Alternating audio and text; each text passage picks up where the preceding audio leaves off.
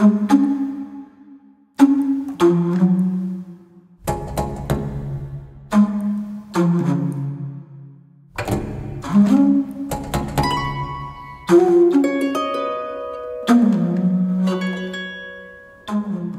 is a short video that shows my technique for scientific illustration of a fish.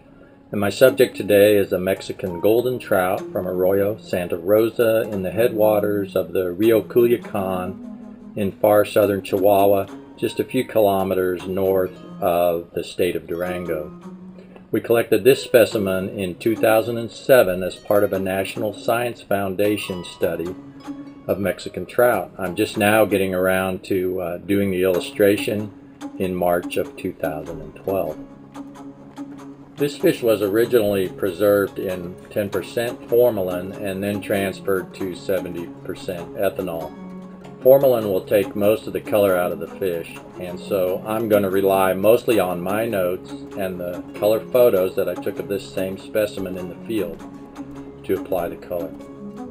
Here's all his relatives that were collected same place, same time with an electroshocker. Other scientists working on this project are studying the DNA of these specimens.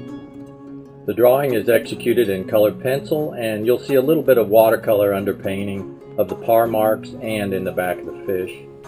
The piece represents about 50 hours of work and the Animated video includes some 300 individual scans of the drawing during the process.